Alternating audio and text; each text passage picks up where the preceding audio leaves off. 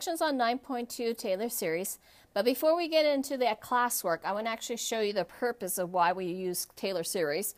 So the Taylor series right here says that if I have two equations, let's say the y equals sine x is the original equation right there, and I have y equals x right here, we want to try to make this y equals x somehow close as possible to the sine graph right there. So obviously y equals x, the part that's going to be similar to the sine x is maybe that little distance right there in that slope right there. So then Taylor series says that I can have is a second equation, and if I put a second equation together, something like this, I'll have a negative x to the third, and next negative x to the third is an S shape, but it's going the opposite direction. So notice that this opposite direction, now we're getting a little bit more closer to that sine wave right there, because now it's hugging this graph right there. And then, so the Taylor series says, now let's take it to the fifth, right? So if I take it to the fifth, notice that it's a positive S shape. We're going to have a little bit more to that sine graph. So that's going to be now take part of this right here.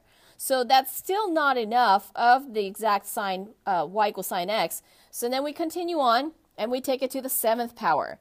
So now again, it's a negative on the seventh power, so we're going to go this direction, negative. So now we're getting a little bit more of the sine graph because it's from here to that graph right there.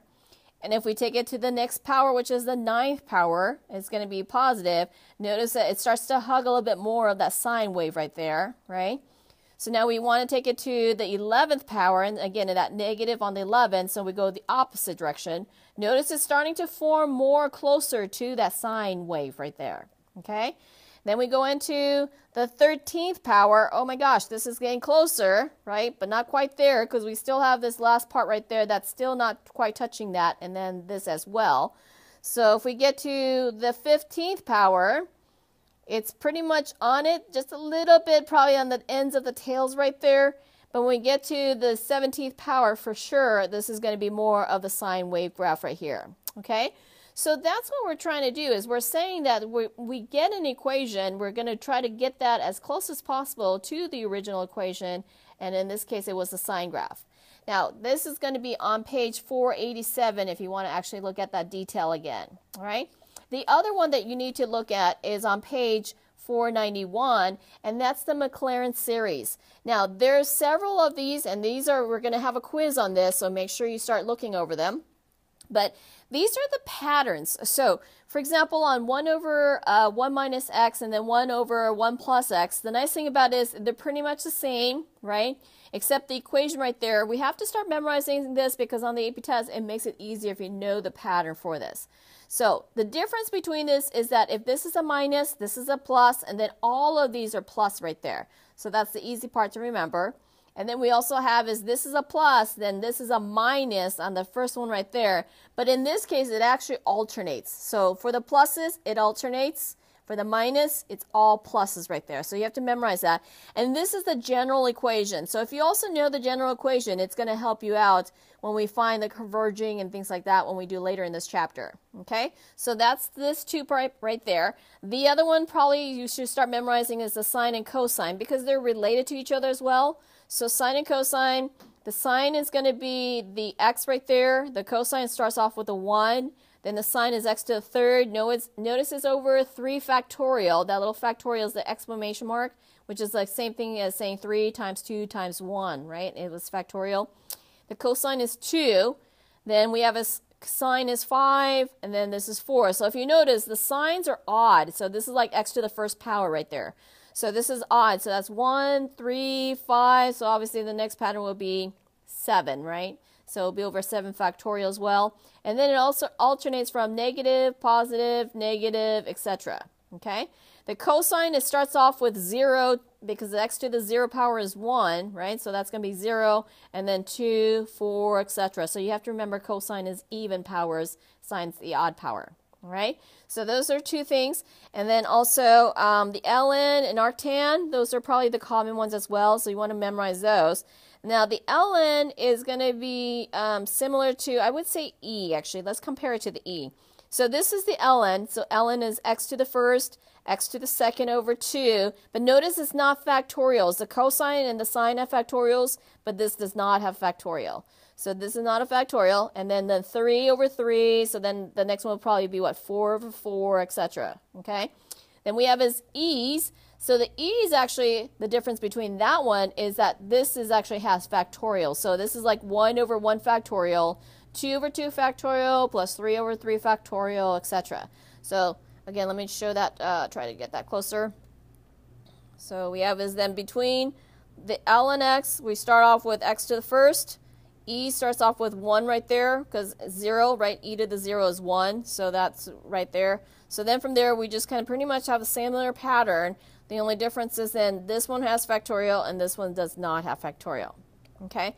And then the arctangent, that's something separate. So arctangent is x, and then we have is x to the third over 3, x to the 5 over 5. And again, it's not factorial right there.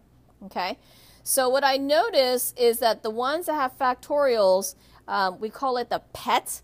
So p being the polynomial, E is the one, the next one, and then also trig functions.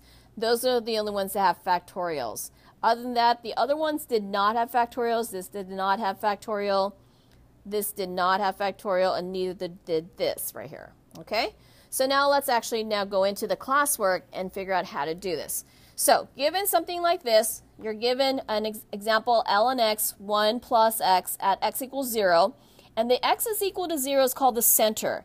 And so the part two of this video will have then when its center equals something else. So in this case, all of the ones we're going to do for this homework is going to be when x is equal to 0. And they're going to ask us to find some kind of number of order. So it'd be fourth order, fifth order, seventh order, something like that.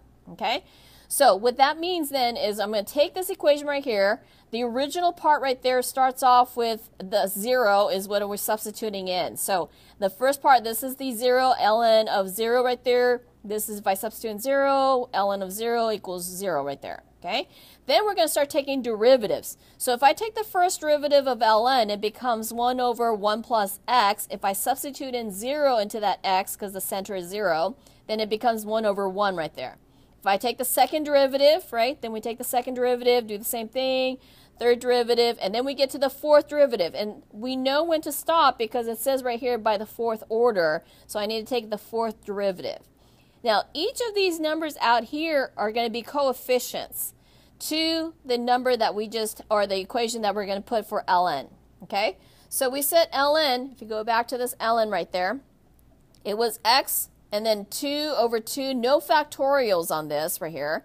Okay? So what we're going to do is then we're going to take the 0 right here. For right now, I just put 0 so you can see this, but we're obviously not going to put 0 later on. So we're going to put 0 right there, plus, and then the coefficient for this is 1. So it's actually 1 x to the first over 1, right? This is negative 1 right there, second uh, derivative right there, so that's negative 1 right there. x to the second over 2. This is now the third derivative, so I use the 2 coefficient, 2 x to the third over 3. And this is the fourth derivative, so negative 6 x to the fourth over 4 right there. Okay? So if, if we asked to find the seventh, then obviously we have to take seven derivatives of this or whatever it's asking for. So this is the final answer right here because then when we graph this out, we're saying that this right here is going to be closer to the equation that we're going to compare it to. But we're not graphing it, we're just finding out what an equation right there. Okay? So let's take the next one. So the next one is sine of x right there. So sine of x right there, we're going to use um, seventh order, still at x equals 0 is the center. So we're taking the derivatives, we're taking the first derivative, and then second derivative, etc. So we want to make sure then we use that um, chart, right, using the sine cosine chart. So I have is then, here's my chart. We have cosine here. We have a sine x, negative cosine x, and then negative sine x. So when we go derivative, we go down, we go rotation-wise down. So since we're starting with sine up here, we're going to go down. That's going to give us a cosine right there, right? If I take the derivative cosine, goes this direction, that's going to give us negative sine right there. If I have derivative negative sine, that's going to give us negative cosine right there. And then sine, it goes back up, okay? So we're going to take it to the seventh power, so we need seven derivatives from there. All right, so once we get the seven derivative, notice there's zeros. The zeros do not have any uh, values when we put it together in an equation, because obviously the coefficient zero doesn't exist, right, for the polynomial. So in this case right here, since we're doing sine, and we're doing sine right here, sine says I need factorials, so we're going to do factorials for this. So the first one right there is that cosine is 1. And it's the first derivative. So at cosine of 1, first derivative, I'm going to go x to the first all over 1 factorial. 1 factorial, same thing as 1. So then we go to the next one. Next one is the third derivative, right? So then that gives me a clue. That's x to the third. It's negative 1 right there, so that's why it's negative 1, and it's 3 factorial because of this 3 up here. The next one is now x to the fifth, so now it's positive 1, so that's positive 1 right there. So it's x to the fifth over 5 factorial. And then we have this x to the seventh, right, which is negative, all over 7 factorial. Okay? And then the last one example is the cosine. And let's say we have this 2x in the middle right there. It's different from this one because this was just sine x, but this is 2x right there. Now, the center is still 0 for this homework assignment, and we're going to find the fourth order derivative. So again, so first one right there, we're doing the cosine, and I'm just leaving this right here as x is right there. And what we're going to do is then we're going to take each of those, oops, let's go to the fourth right there. So we're going to take each of those and just basically find the coefficients right there, okay? Now, after we do the coefficient, I'm going to put it together as the fourth right here, the polynomial fourth right there, and just right there, use the coefficients, 1, right? x to the 0 is 1. Then from here, this one right here will be second derivative, so it's negative, it's negative x to the second over second factorial. And this is to the fourth, so then it's 4 over 4 factorial. Now the difference then with that 2x is then using this right here, since it's cosine 2x, anything that has an x in there, we're going to put a parentheses of 2x in there. Okay, so then that's the only difference with that.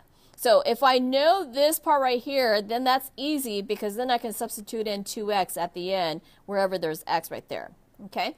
Also for the write-up right here, let me just point this out. If it is first derivative, we do like a little, a little um, pr prime right there, right? And then if it's second derivative, we do two primes, third derivative to the third prime.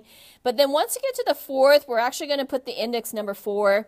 And then uh, where was the other one? Was down here. So then we take it to the fifth, sixth, and seven, etc. So we take the index number of those right there. Okay? So that's what the Taylor series is for when the center is equal to zero for this homework assignment.